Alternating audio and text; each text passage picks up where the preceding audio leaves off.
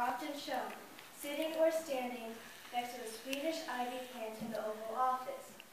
Imagine the stories this pet would tell if it could speak, the conversations, the deals, even the scandals that were played out in its presence. Everything from Watergate to Monica Lewinsky. In Luke's account of Palm Sunday, the Pharisees tell Jesus to stop his followers from shouting. Jesus says, I tell you, if these were silent, the stones would shout out. If the stones that were lying on the road to ancient Jerusalem had shouted out, what would they have said? Let's ask one of them right now.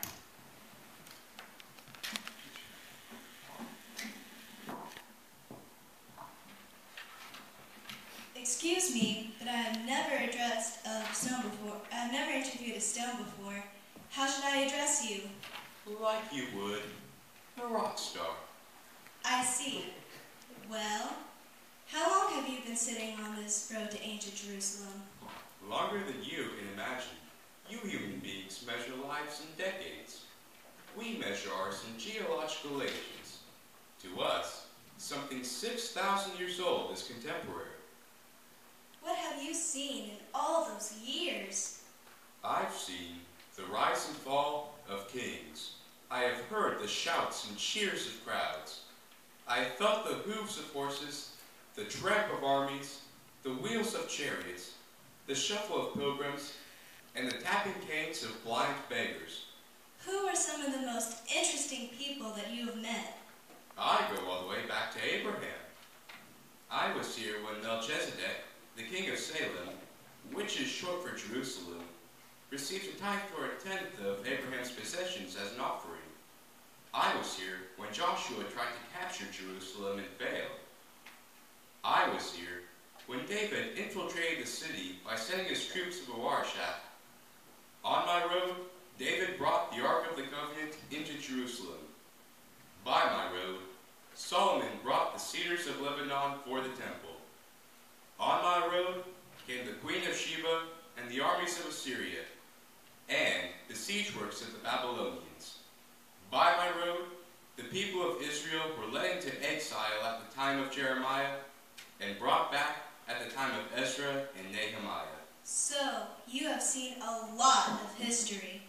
I have seen pharaohs of Egypt, kings of Greece, emperors of Rome, Turkish sultans, medieval crusaders, British soldiers, and Israeli commandos. Every kind of king and conqueror imaginable has traveled down my road, but none like the one I saw that Sunday afternoon before Passover. Really? Tell us about him. They said his name was Jesus. He was part of a group of pilgrims coming from Galilee to Jerusalem for the Passover. I could tell they were Galileans by their accent. In many ways, they were just like any other group coming to the temple for worship. Normally, as people approach the temple, they recite the words of Psalm 118. Blessed is the one who comes in the name of the Lord. Then they form procession, sometimes even waving branches as they make their way up to the altar to offer a sacrifice. What was different about this group? The Galileans did something strange.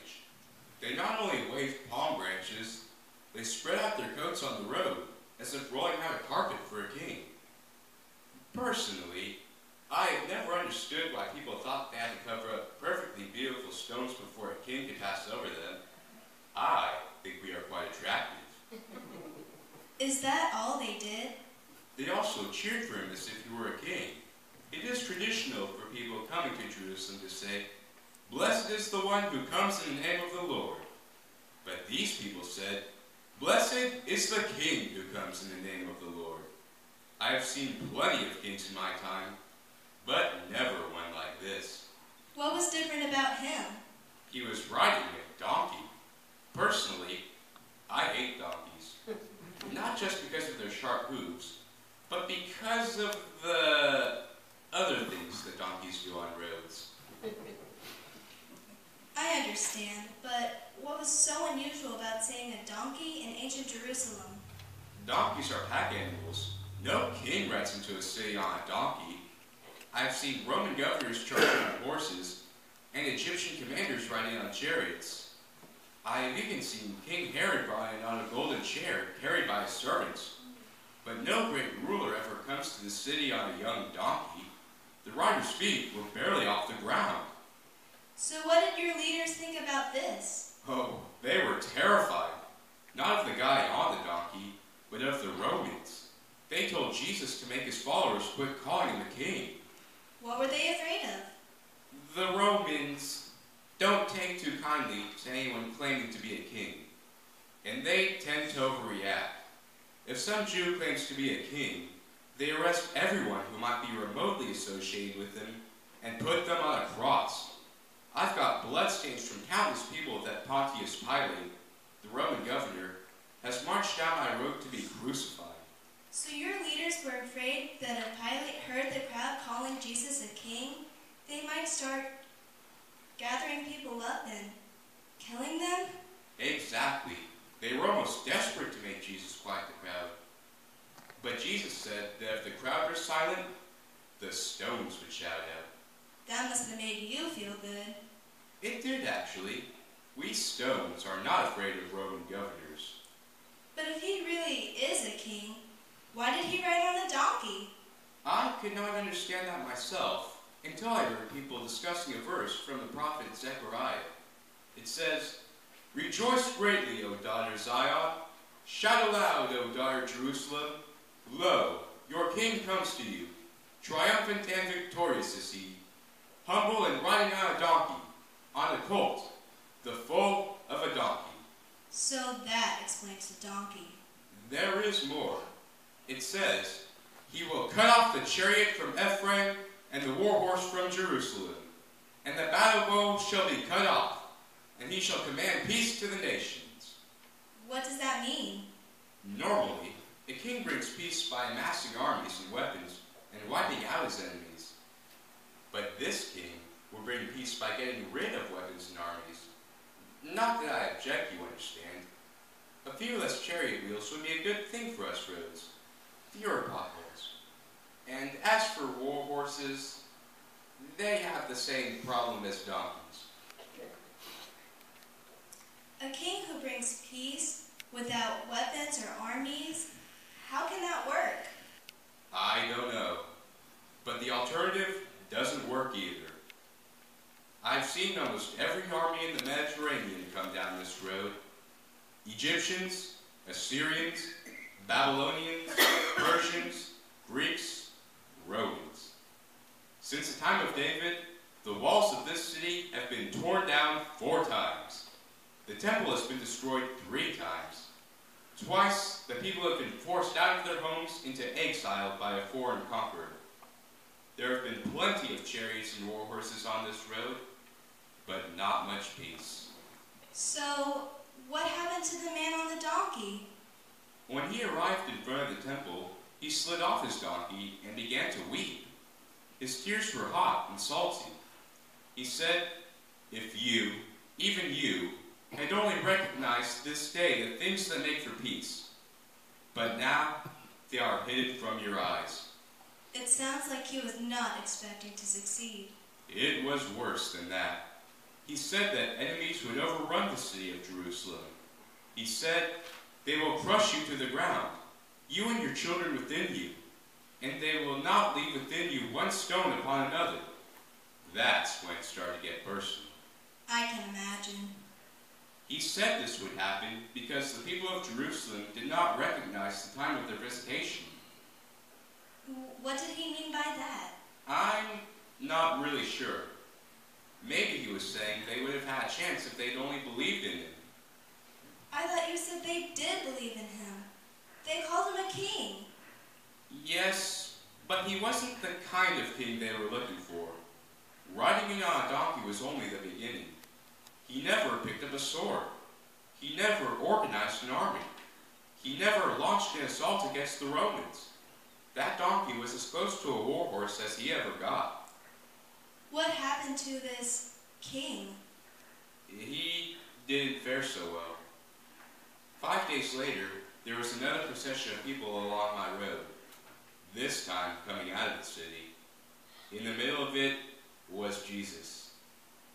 This time he was on foot, carrying a cross. The only crown he wore was a crown of thorns. The crowds weren't cheering him, they were jeering him. They said, If you are a king, why don't you save yourself? Didn't his followers try to protect him? He told them not to.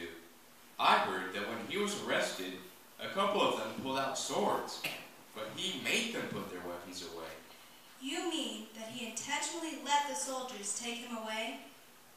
That's how it appears. It was as if he expected it, as if it had to be that way. Why? It was for him the way of peace. The way of peace? Yeah, I know that sounds strange. Most of the kings who passed down my road claimed to bring peace, but they did it, or tried to do it, by creating a single world empire that would end fighting between nations. Pax Romana, the Romans called it, but their unity was the unity of dictatorship, and their peace was established with a sword. It never lasted very long. Eventually, the resentments, hatred, and desire for freedom of the conquered peoples tore those empires apart. There has to be another way. You think that peace on earth can be brought by a king on a donkey who was executed on a cross? If peace cannot be brought with a sword, perhaps it must be bought with a sacrifice. But how can he be a king if his people, if he was rejected by his own people? There is another passage in that psalm that I told you about earlier. Psalm 118, verses 22 and 23. It is my favorite passage in the Bible. What does it say? The stone that the builders rejected has become the chief cornerstone. This is the Lord's doing. It is marvelous in our eyes. Isn't that a great passage? I can see why you like it. Sometimes the true value of a thing is not always apparent at first glance. When the crowd of his followers led Jesus into the city, they shouted, Blessed is the King who comes in the name of the Lord. Peace in heaven and glory in the highest. Maybe they were right, but in a way they did not yet understand. Do you understand it? I don't know. But maybe his death is not the last word. The stone which the builders rejected has become the chief cornerstone. If it can happen with rocks, Maybe it can also happen with people. Do you have anything else that you would like to share? Since I met him, I have a new favorite song. Want to guess what it is? Rock of Ages? nice try, but no. It's My Hope is Built on Nothing Less. Why is that? It's because of the chorus. On Christ, the solid rock I stand. All other ground is sinking sand. All other ground is sinking sand.